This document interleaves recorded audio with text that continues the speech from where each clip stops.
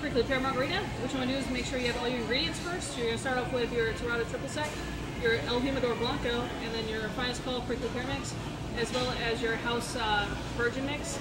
So what you want to do is grab a small of ice. You're going to add your tequila, which is one and a half ounces.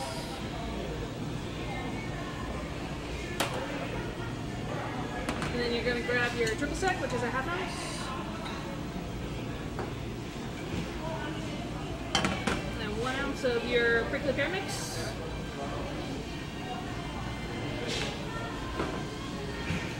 And then the last ingredient is going to be your virgin mix, and that's three ounces.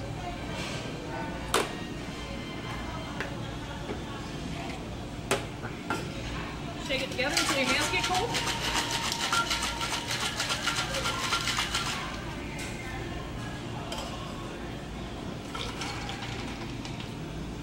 So, and then you're gonna garnish it with a lime wedge and one of your paper parasols, and that is your prickly pear margarita.